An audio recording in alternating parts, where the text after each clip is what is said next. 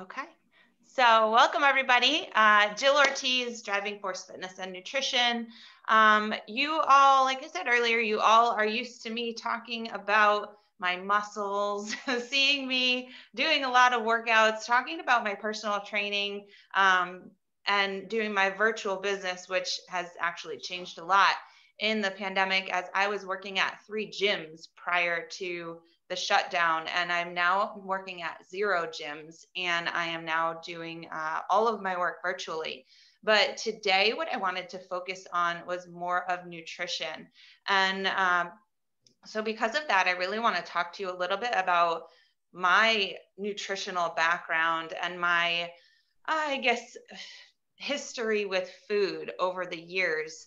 Um, I am a nutrition coach. I am certified in portion control nutrition and mindful eating. But last year, uh, I have a client who comes to my house. Uh, she comes uh, every Monday, Wednesday, Friday, and we do a personal training session. And when they were open, she used to also go uh, once a week across the street from my house as a Weight Watchers meeting. And she used to go after our session every Tuesday. And she was talking one week about how Weight Watchers was changing their format, doing a new rollout of a program. And I said to her, you know, oh, that sounds like fun. My mom's been on Weight Watchers her entire life. She's 71 now. Um, you know, so I know a lot about Weight Watchers. I've done Weight Watchers in the past too. I said, Can I come with you to the meeting? I'd be interested to see what they have to say. And so she said, Yeah. So we went over across the street and she was in a long line getting weighed in. And I sat down. She says to me, Jill, go to the front row. I sit in the front row. My client is 73. She says, go sit in the front row. Oop, did my screen share stop? Um, and so I went and I sat down and I immediately oop, started crying. And I didn't know what was happening to me, but there was something going on. And I guess this is how Weight Watchers does it, but the woman who was leading the meeting asked me to stand up and tell everybody why I was crying. I stood up in my personal trainer sweatshirt, uh, the youngest one by probably 20 years in the room, and said, I don't know why I'm crying. I couldn't stop. The tears were pouring down my face. I said, My mother has been on Weight Watchers my whole life. I remember a lot of, you know, are you sure you want to eat this? Are you sure you want to do that? I remember when I got my driver's license, my sister and I, we immediately went out and ate all the fried food that we could. Um, and so I left that day and realized that I needed some therapy because there was something going on with me and my relationship with food. Um, and so I'm going to move on a little bit. This is me now versus the me of before. Um, the Mia before this is when uh, just a little bit after my son Jackson, who's seven, is was born. So this is about a seven year difference. Um, and I feel like I want to cry when I see that girl on the left. This is the why that actually would make me cry. Today, our topic is about our why, but man, the pain behind my eyes before, um, having no plan, having no idea what I was doing wrong with nutrition, having a broken relationship with food. It was always a very negative thing. Um, but not only that, I used food to comfort myself for most of my life. Uh, I studied abroad in high school in Chile. And then I studied abroad in, in college. I went to China. And in both situations, I can very clearly tell you that food was my comfort. Being so far from home, uh, being in a place where I hardly spoke the language, it was terrifying. And food was that thing that could let me shut my mouth or not have to speak at a meal with others. Um, I also found myself a lot of times at social situations, at parties. I'm an introvert and I'd rather stand by the food table and eat than have to talk to people. Um, but I also just had no idea what to do. Uh, I was an athlete my whole life, and after kids, I start. I was doing a lot less activity uh, obviously getting older and just unsure as to what I was supposed to do anymore. So um, I really had never followed a, a meal plan. Um, and I just didn't know at this point, this picture on the left, what I was doing wrong. A lot of people don't have a plan, and that's not great. but a lot of people think they need to diet and that they need to diet really hard. Um, so this is kind of the opposite side of the spectrum. People who are really like they're dieting so hard, they're so conscious, they're counting every calorie, they're um, you know, they're trying to restrict themselves so hard during the week that on the weekends, those are the people, I don't know if this is you, but you might lose three to five pounds during the week and then gain them back every single weekend. It's a really, really vicious cycle. And it's like I see it as as a tennis match. And the harder you hit that diet ball one way, the harder you're going to rebound the other way. And it's hard not only on our bodies, but it's also really, really hard mentally. Can anybody relate to that awful feeling, that great feeling of, great, I didn't eat anything all week that I wanted to, and that awful feeling of, why'd I do that? Let's eat everything in sight. So as we go into Thanksgiving, that's what I really wanted to focus on today is having balance, making that less of a tennis match. But let me go back to this coming closer to the net, finding more balance and enjoyment in eating, and yet staying closer to the net and having a little volley instead of trying so hard to diet and restrict that we're going the opposite way. Does that sound like something we could do? Is step closer and closer towards the center, right? And just try to get a little bit more towards the center and enjoy ourselves, but not go crazy one way or the other. So that's what I want you to think about going into Thursday with um, Thanksgiving is I want you to enjoy the things you like, but I want you to be able to earn them a little bit and keep that healthy balance. So this is, uh, we call it the more sure model. It's something I teach a lot of my clients when we go through mindful nutrition, and it's really great for holidays. It's a cycle where you need to go through the steps. So let's say you're at Thanksgiving. The first thing you do if you're going to somebody else's house is not grab a glass of wine when you walk in the door, but grab a glass of water and start there and give yourself a little bit of time so that you don't start drinking right when you get there because it might be a long time you're going to be there. Um, the next thing is start with some vegetables and you can use this also for your Thanksgiving plate is load up on the vegetables because if we can start to get full and start there, then we have a better chance of not filling up with a ton of caloric foods after that. After our vegetables, which help us with that mind and that sense of fullness, then we can go on to protein. Protein sustains us. It is that thing that when we eat it, it sustains our energy.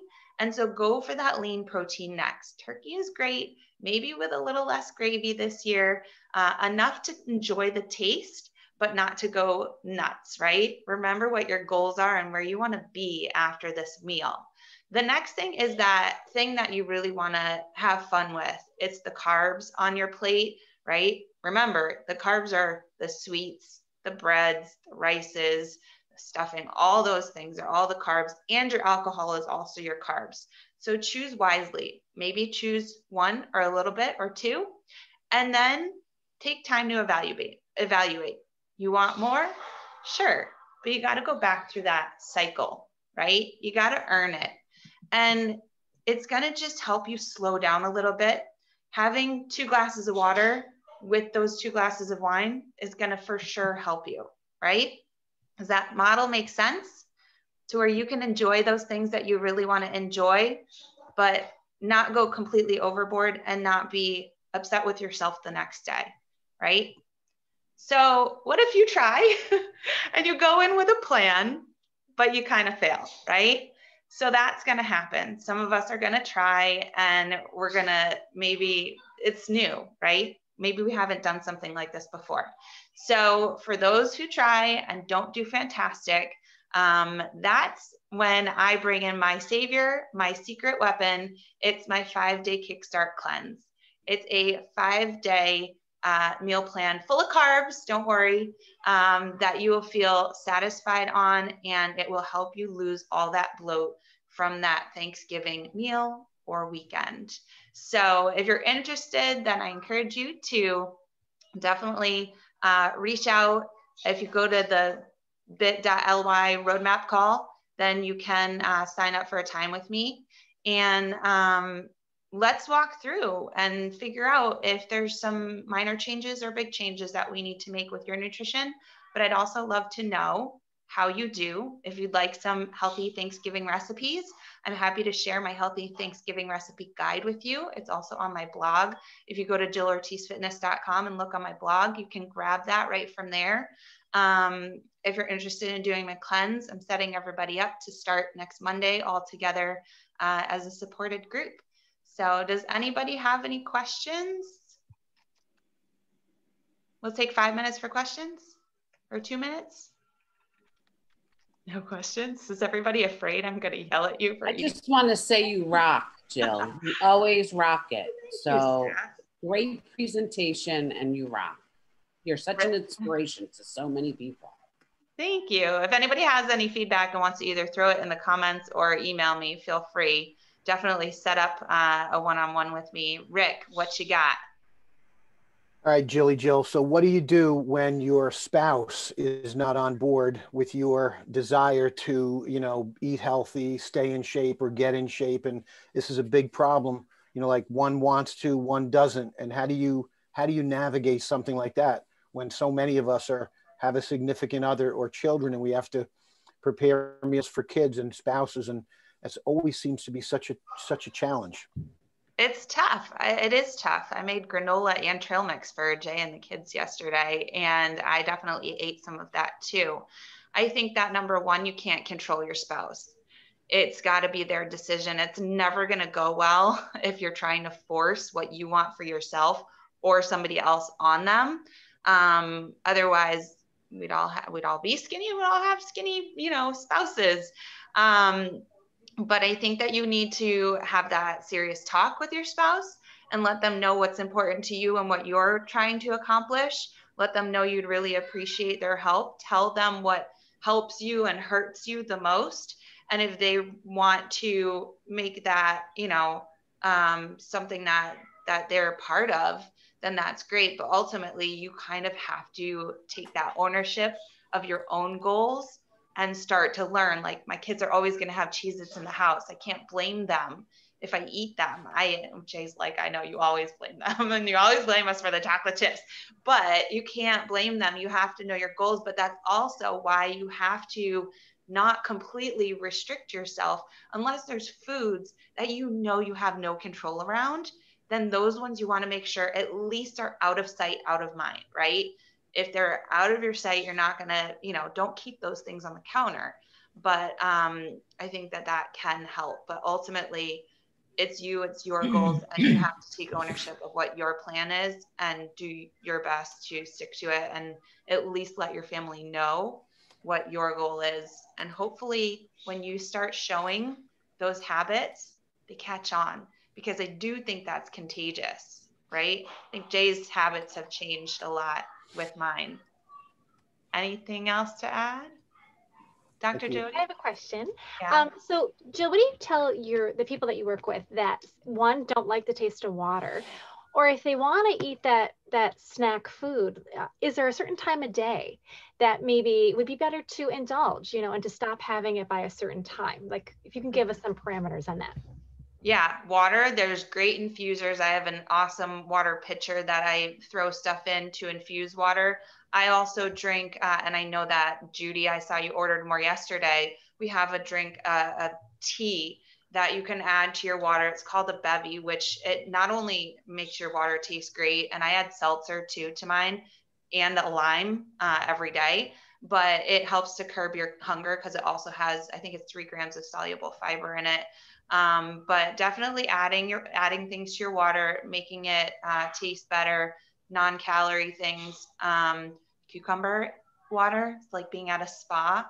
Uh, so many things that you can do um, to make that water taste better, but ultimately it's also just getting used to it and knowing how good it is for you. Um, then, with regards to time of day, I think you have to figure out what the struggle times of day are um, and work with those. If you can master that time of day, that's the hardest time of the day for you, um, then I think that's a real help. But otherwise, I think that, um, you know, it's something that's a one on one basis as to when we put things in. I think for the most part, the biggest rule is crowding out the bad with the good, right? So adding more vegetables, adding more healthy foods so that you're not inclined to eat the others or swaps. I love making swaps. I will never give up nachos, pizza, Chinese food, all that stuff, just make it healthier. So um, I want to move on because I want to make sure that we finish out our presentation.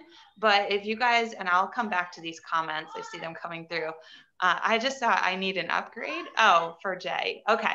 Uh, if anybody knows anybody and wants to connect me to a new husband, uh, just um, but anyways, the rest. Uh, we were talking about a bigger diamond. You need a big. Rick oh, said a another diamond, diamond and I said you need an upgrade. Great, I would love a diamond upgrade. um, but I know Jay wants a truck too. So if you would like to talk more, oh my God, I could talk about this all day. I have a million answers for everything. Set up a face to face with me. That's why we do these showcases. And if you would like to do a workshop like this within our meeting too, um, let Dr. Jody know because we have some openings and we'd love to learn more about your thing. Um, let's go back to the presentation quick. Let me find it.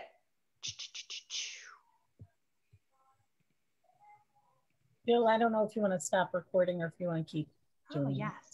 Thanks, Maggie. Uh,